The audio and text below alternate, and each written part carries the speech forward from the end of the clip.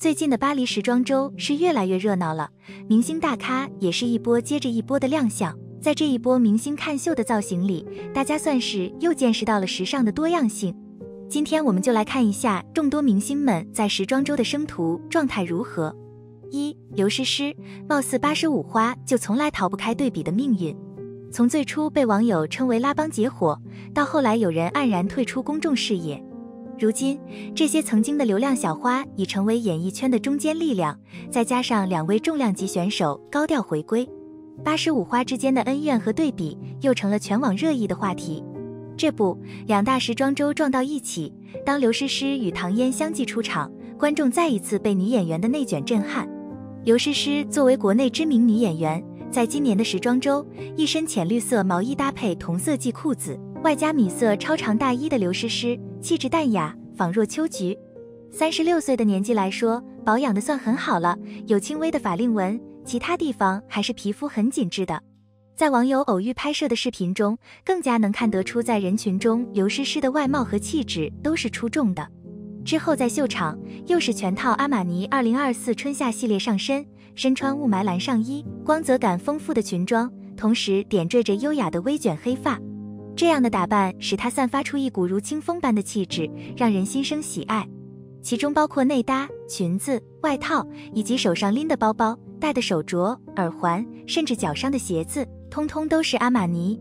所以粉丝狂喜，还扬言刘诗诗这次是以不同的身份去的时装周，让网友不禁猜测：难道是要官宣阿玛尼新代言？二唐嫣，唐嫣真的状态好好，四十岁了，眼神包括状态没有一点疲惫感，皮肤紧绷，而且线条流畅，干干净净的，看得出来家庭婚姻很幸福。唐嫣去年凭借一部《繁花》再次拥有新的人生角色，此次出征巴黎，造型方面很独特，不同于其他女星选择了裤装，大光明的发型很有挑战性，五官的优缺点全部都被凸显出来。另一套造型更加适合唐嫣。温柔明媚，搭配 bling bling 的妆容，这才是仙女本仙。一袭紫色长裙的她，以紫色月光妆冲上热搜。视频中的唐嫣状态好极了，完全看不出来是年近四十的已婚已育大花，整个人仿若少女，引发无数网友直呼简直梦回紫萱。四十岁的皮肤状态竟然保持得如此出色，并且找到了完全适合自己的风格，这充分展示了内娱审美的持续在线。三杨幂，杨幂的精修美照持续登上热搜，但生图却让她被指显老，与年龄相近的刘诗诗和比她大三岁的唐嫣形成了鲜明对比，完全不在一个水平，在被全网吐槽。可以看出，杨幂对自己的形象还是相当重视的，不然也不可能还没真正出场就热搜满天飞。但同时也能看出，想要过于拔得头筹，无论是衣品还是妆容，都有些用力过猛。这衣服或许是雍容华贵风，还能露出修长的腿，与其他人的简洁大方确实截然不同。然而，就是太过雍容，显得整个人都非常臃肿，且与鞋子一点都不搭。再加上杨幂刻意板着的表情，看起来高高在上，甚至在走路时都要用双手扶着助理，这让人不禁联想到慈禧出宫，活脱脱像个乡村女企业家。这不就是十年前东北地区随处可见的衣服吗？再看她的妆容，从头发到每一根睫毛都显得过于用力，整张脸上写满了不开心，眉毛僵硬，眼窝凹陷，双眼皮褶皱明显，还有异常浓密卷翘的假睫毛，甚至眼睛睁开都显得费劲。即使在有光照的情况下，也遮不住下眼袋，法令纹若隐若现，整张脸的肌肉似乎都在下垂，而大红唇的轮廓清晰，简直就是老上加老。其实杨幂本身是有大女主气质的。而且咖位在，为啥这次巴黎之旅的妆容会显得如此疲惫呢？因为全都是重点，发型、妆容、衣服，甚至还有闪亮的鞋，加在一起就会让人觉得用力过猛。而且杨幂的眼部状态本身就堪忧，胶原蛋白流失，眉骨不够突出，导致眼皮松弛。即便要突出眼部，使用眼影、浓密眼线以及睫毛加强，也会进一步凸显疲惫感。四刘亦菲作为 LV 的全球代言人，刘亦菲受邀前往巴黎参加大秀。在她出发之前，全网期待喜欢她的人想要看到她在巴黎时装周的迷人风采。而不喜欢她的人正等着拿衣服和座位来跟其他八十五花刘诗诗、杨幂、唐嫣对比，所以她的出现万众瞩目。没想到一套小黑裙，一双纯白色丝袜，再搭配黑白条纹礼帽的刘亦菲，英姿飒爽地走来，既有千金大小姐的风范，又有摩登女郎的霸气，更有少女般的明媚笑容。那些等着拉踩她的人，一时间竟然无从下手。于是出现了大批量的网友吐槽刘亦菲的穿搭，认为脸虽然好看，但白袜子就看不懂了，甚至还直言 LV 就是专门给女明星们穿丑衣服的吗？其实看看模特图，刘亦菲的这一套有多灾难，你就会明白刘亦菲的表现力有多绝。再看看同为 LV 服饰的其他女星，确实都有一股同系风格，且白色丝袜跟黑白条纹仿佛刻在设计的理念里。五，周冬雨，周冬雨同样是 LV 代言人，她的裙子虽然是抹胸款，但仔细看看元素，就会发现也是纯黑色，下摆同为黑白条纹。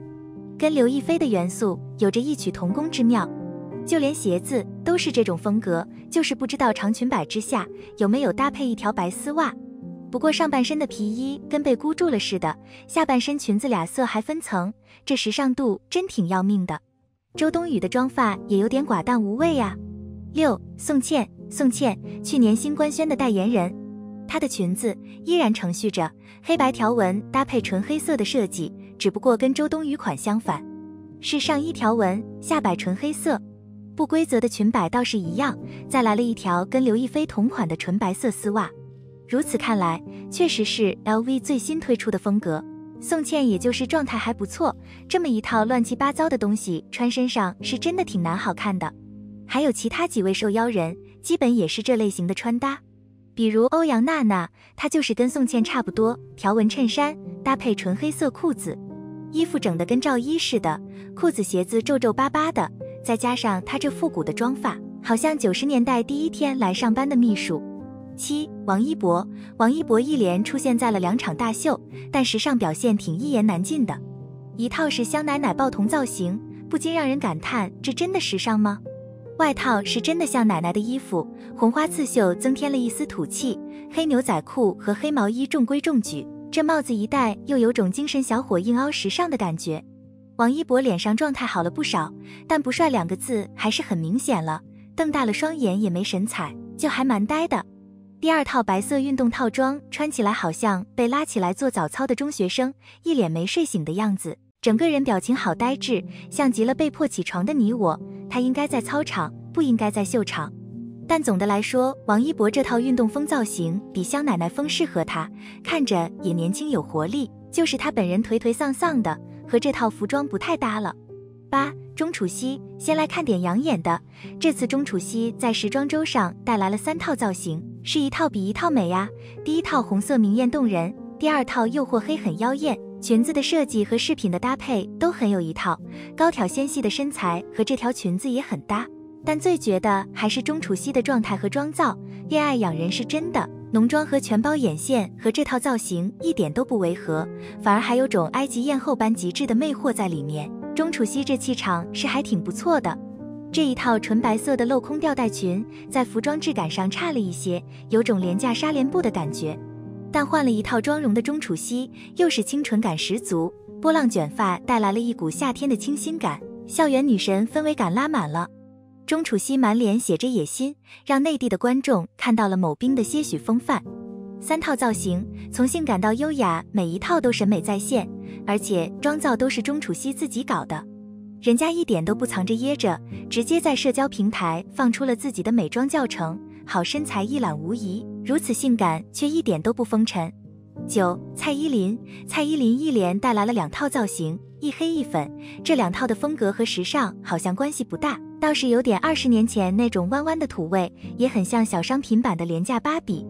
第一套黑色的是真显黑，没有裁剪四圆锥，短裙的气势本来就不够，还在裙摆上加了黑色的毛，就很难评。粉色这套西装套装有质感，没设计感。一个个排列起来的蝴蝶结，好像二十年前饰品店的风格。手包和高跟鞋也都是这个 low low 的感觉。不过蔡依林没有任何架子，在镜头前开怀大笑，无论是粉丝还是路人都夸赞有加。